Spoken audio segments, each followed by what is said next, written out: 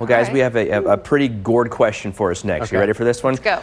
Is it squash season or is it pumpkin season? Squash. It's both. Pumpkin. Well, there you go. You have the answers from the pumpkin studio. is a squash. I don't know Squash anymore is a about. Okay, I'm gonna. s- t- Let's turn off the video. Can we these leave it to the experts? We're gonna leave it to the experts at Better Homes and Garden. Garden's editor chief uh, Stephen Orr. He's gonna explain it all. Just pay attention. There really is no difference. These are all squashes, but this is a pumpkin because it's shaped like a pumpkin. So that's really the main difference. We've divided them into these two groups just by how they look, but actually winter squash are all known for these hard skins that help preserve them all through the fall months, all through winter, and sometimes even to spring depending on the variety.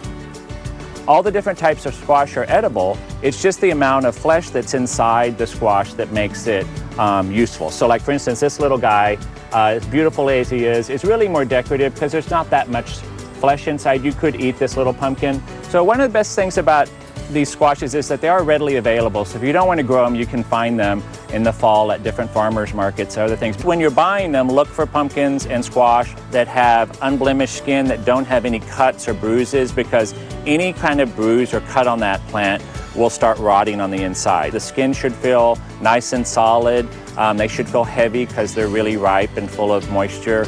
Um, and also you should cut off the stem, don't tear it. Obviously, this is a big, thick stem, so even on the small varieties, just snip those off and then store the pumpkins in a cool place that's really dry so they won't rot. Well, Stephen gave it away right off the top of the show there, or off the package there. But there you go. There you have it. What do you guys think? He gave us pumpkin to talk about. You need to squash those jokes. Just when I thought it couldn't get any worse. Oh my gourd.